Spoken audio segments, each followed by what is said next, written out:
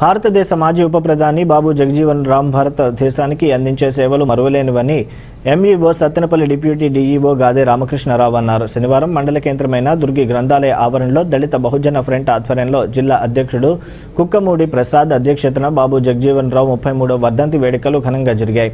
తొలుత ఆయన చిత్రపటానికి పూలమాలలు వేసి ఘనంగా నివాళులర్పించారు. గాదే రామకృష్ణారావు మాట్లాడుతూ సామాజిక విప్లవ యోధుడు బాబు జగజీవన్ రావు అని ఆయన సేవలను కొనియాడారు. జగ్జీవరావు ఆలోచన విధానం. రామకృష్ణ మాస్టర్ గారికి అలాగే ఓబులేశ్వరపల్లి హెచ్ఎం మాజీ ఉపరబాని బాబు జగ్జీవరావు గారి ముప్పై మూడవ వసతి కార్యక్రమాన్ని ఏర్పాటు చేయడం జరిగింది.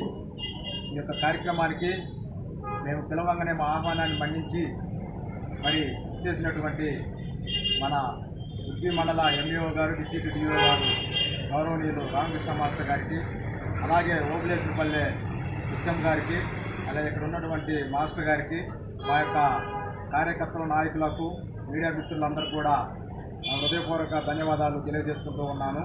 ఇకపోతే మరి ఇరవై ఏడు సంవత్సరాలకి శాసన మండలి యొక్క సభ్యత్వంలో ఎన్నికయ్యి పార్లమెంటరీ నేతగా యాభై సంవత్సరాలు మరి ఈ యొక్క భారతదేశానికి సేవలు అందించడం జరిగింది. ఈ యొక్క భారతదేశానికి దళిత మాజీ ఉప ప్రధానిగా పనిచేయడం జరిగింది. కార్మిక శాఖ మంత్రిగా తంతి తపాలా రైల్వే శాఖ వివిధ శాఖ మంత్రులుగా మరి పనిచేసి ఆ యొక్క పదవులకు అందించినటువంటి గొప్ప నాయకుడు బాబు జగజ్జీవరావు గారు. మరి ఈరోజు భారతదేశ వ్యాప్తంగా కూడా ఈ యొక్క బాబు జగజ్జీవరావు గారి మరి వర్తంతి వర్తంతిని జ్ఞా- చేయడం జరుగుతుంది. అలాగే ఈరోజు ఆయన ఆశీస్ సాధన ఏదైతే ఉందో ఆ రోజు ఇందాక మన ఎంఈఓ గారు డిప్యూటీ గారు చెప్పినట్లు మరి ఆ రోజు ప్రధానమంత్రి అయ్యే సూచనలు ఉన్నా కూడా ఉన్న పరిస్థితులు బట్టి మరి ఆ రోజు ఉపప్రధానిగానే మరి కలగా మిగిలిపోవడం జరిగింది.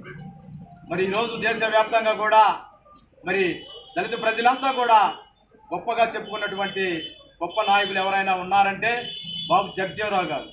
భారతదేశానికి దళితులకు డాక్టర్ బిఆర్ అంబేద్కర్ గారు ఒక కన్ను అయితే బాబు జగ్జీవరావు గారు రెండో కన్నుగా మనం జ్ఞాపకం చేసుకోవచ్చు.